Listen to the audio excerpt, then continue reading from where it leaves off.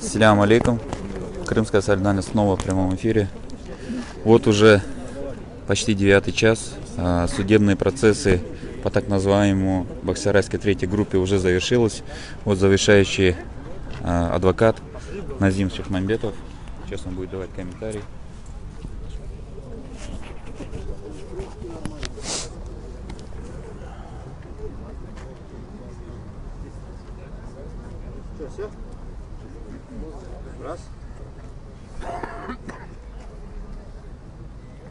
Селям алейкум, добрый вечер. Хайрлы акшамлар. Эр бір шиде бір хайрлы тарафы бар, иншалла. Стойте. Где эта петля? Дайте на минуту. Вот этот агрегат, который сам.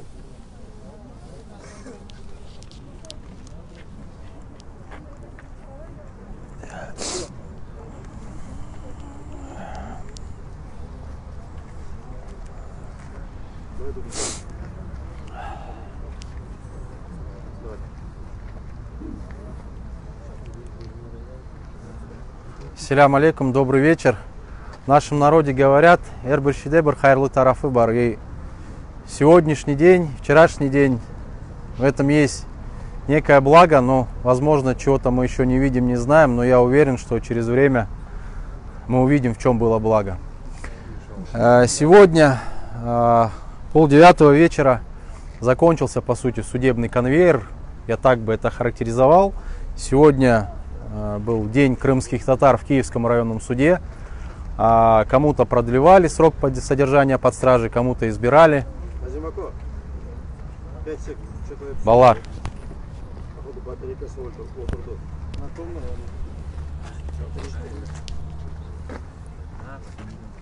Давай не надо, давай так скажу, без микрофонов. Потому что этот, ну, Аликен, брат, давай.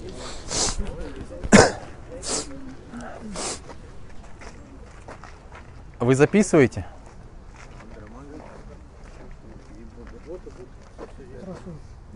Сейчас пишется или нет? Сейчас нет, наверное. Ну, стрим идет.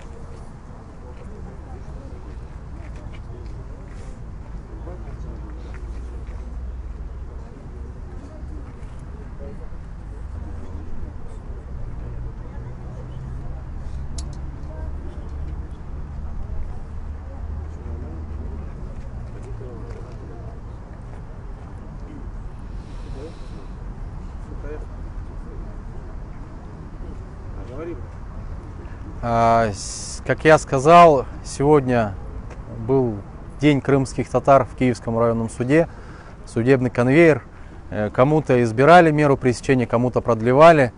В частности, вот сейчас, уже полдевятого вечера, э, прошло последнее заседание по избранию меры пресечения а, одному из фигурантов уголовного дела, которое было возбуждено вчера, и вчера были задержаны четверо крымских татар, а, которых обвиняют в терроризме.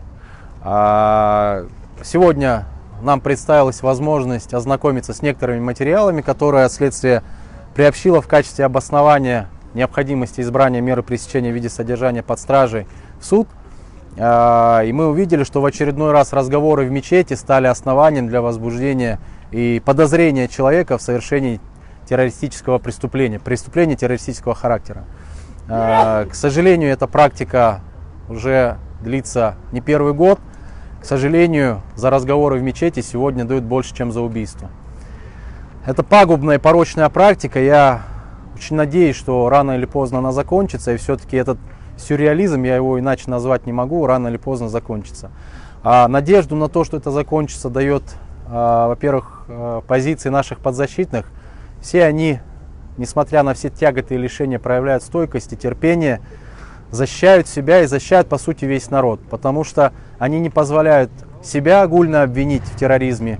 Собственно, это позволяет и сегодня говорить, что и наш народ не является таковым. Наряду с тем, что в принципе за всю историю существования этого народа подобного в народе явления, как терроризм, оно никогда не было. Но при этом всегда были обвинения, которые сегодня именуются терроризмом, раньше экстремизмом, а еще раньше предатели и так далее.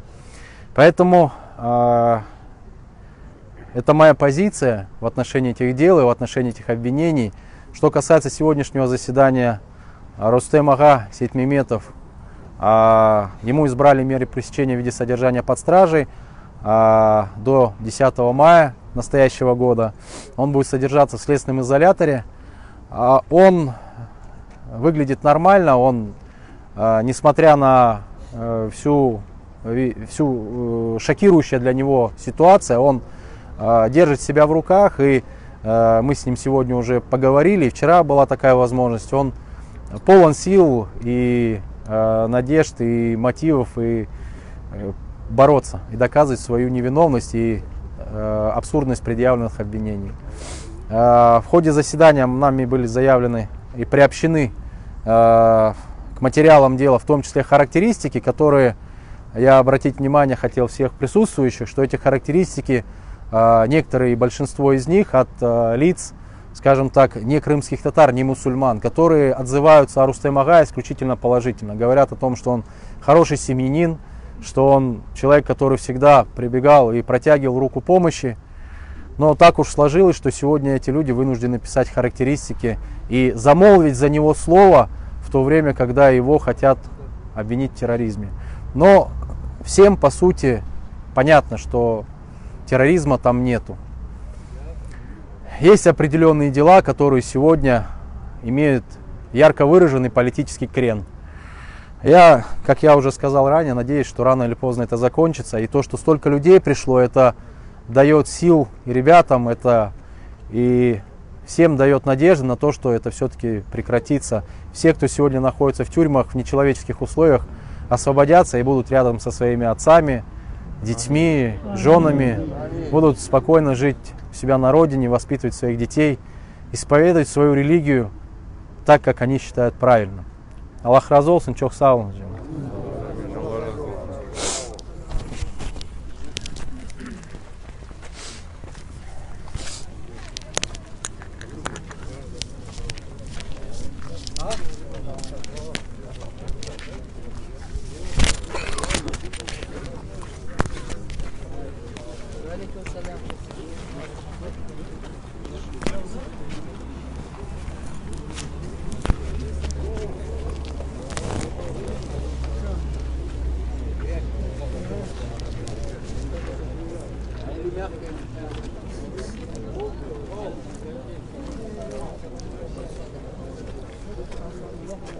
Это был комментарий адвоката Назима Шахмамбетова. Как он сказал, это было последнее заседание по так называемому третьей боксерской группе, фигурантами которых являются Ситомер Ситомеров, Сулейманов Амед, Ситомеров Осман и Ситмеметов Рустем.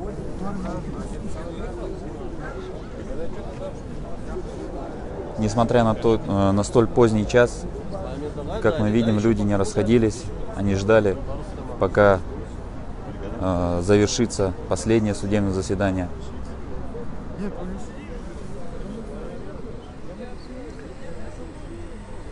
Напомню, что мы находимся в городе Симферополь, возле здания Киевского районного суда, где сегодня избиралась мера пресечения четверым крымским татаринам.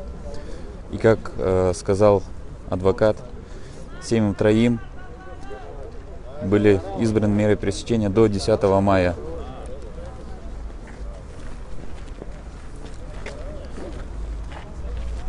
Одному фигранту, это Сулейманову Амету, избрали меру пресечения под домашний арест до 10 мая, так как у него большие проблемы со здоровьем.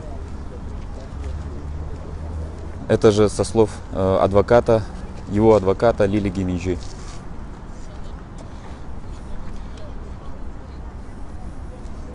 Как только что комментировал адвокат э, Назим Шахмамбетов, поводом их задержания а и осуждения по террористической статье, а им инкриминируют статью 95.5, часть 2, это были лишь поводы, то, что они разговаривали в мечети на религиозные темы. Аллаху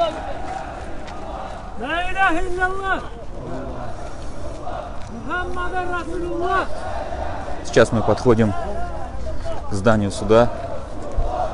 Как мы видим, люди подходят к сетке, так как э, их будут сейчас выводить машины. Возле здания стоит КАМАЗ с ОМОНовцами.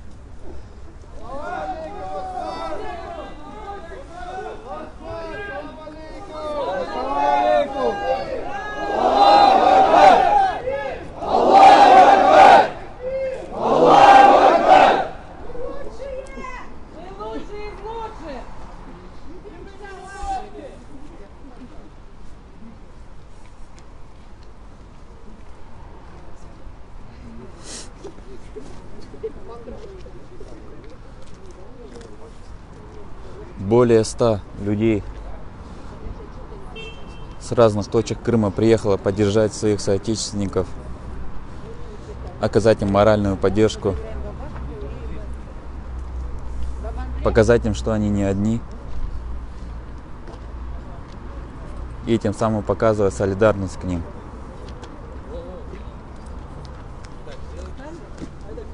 Напомню, что вчера, 11 марта 2020 года, в городе Бахчисарае, а также в Бахчисарайском районе были проведены обыски в семи домах крымских татар, вследствие чего одного человека, э, вследствие чего пять человек задержали, но через несколько часов одного человека отпустили, так как э, он шел как свидетель.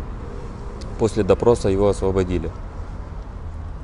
Четверым фигурантам этого дела инкриминирует часть а, вторую статьи 205.5. Также они заочно арестовали а, однофамильца а, Ситумера Ситумерова, который является ведущим крымско-татарского телеканала АТР, а, который вещается с Киева. Ему инкриминирует часть первую этой же статьи.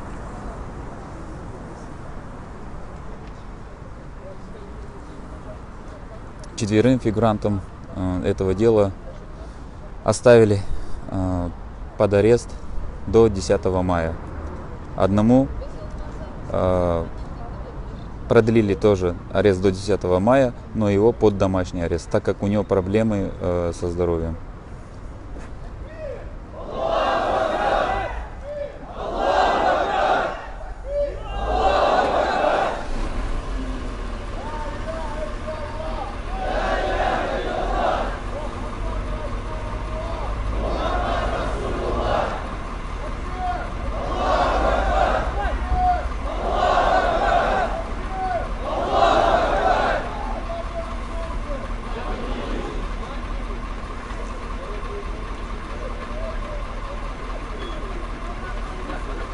С вами была Крымская солидарность.